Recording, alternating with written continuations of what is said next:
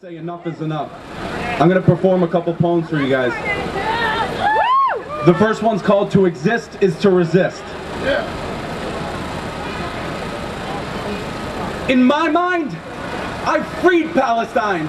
Envision the dream that just needs to be seen. Olive trees in ecstasy. Orange groves that lead to our roads. No blocks filled with cops, no 10-year-old shop. Freedom is what I got.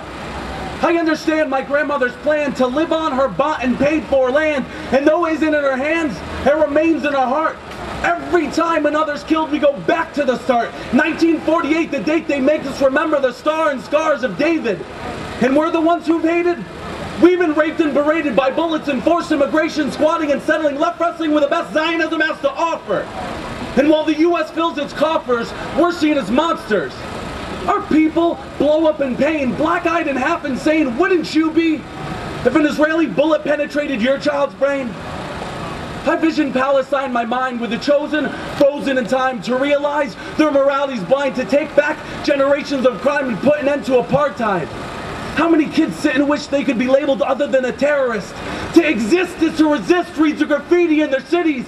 Give them chalk instead of rocks, they'll use the blackboards if you let them go to school. Give them chalk instead of rocks, instead you bulldozer blocks. Destroy their homes. Palestine is what you call the no building zone. But you can't bulldoze our minds. Every time we'll rise to the ashes like Cassius Clay will bob and weave for infinity. There's no divinity in bombing our cities, setting up committees to treat us differently. We're from Palestine, the land where dreams are made. There's nothing brave about oppressing. We'll count and multiply our blessings. So remember just one thing. One day the bells of freedom will ring, and you'll see me smiling, loving life in Palestine. One more poem.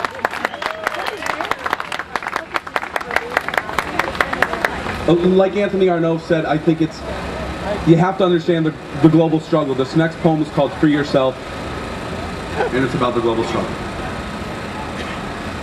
When the anti-war movement refused to include Palestine because it would undermine the cause, I said screw the anti-war movement.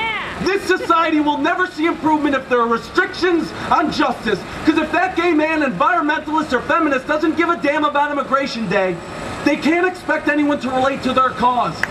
Until we realize that Sudanese is Iraqi, Canadian is Mexican, American is Iranian, the sins of empires and agendas driven by rich men, not regular citizens, will continue the vision of global warming. The war on Islam is the war on poverty. As the West attacks ghettoized societies, we hear the screams of those that perished in New Orleans. We hear the shrieks and massacres in Jenin. As West Village mothers dress their babies in Che Guevara onesies, a raped college girl crawls to her phone to call home. And while black males make up 40% of the prison population, class regulation gets white kids in Colorado a slap on the wrist for Class A substance. But Compton kids, they get three to five for the same crime. If we can't all see the connection in our lives, then nobody can cry when their child dies. Because empathy is the only thing that can rectify this tragedy. Not war, not free trade, not the capitalistic way. The cancer our minds lead to the decay today. So go out and free Palestine, free Lebanon, free Iraq, free Afghanistan and Sudan, free embargoes and sanctions, free ourselves from the hell we've created.